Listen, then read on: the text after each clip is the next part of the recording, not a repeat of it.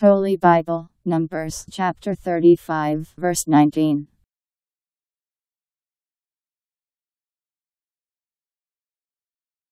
He whose right it is to give punishment for blood, may himself put to death the taker of life when he comes face to face with him.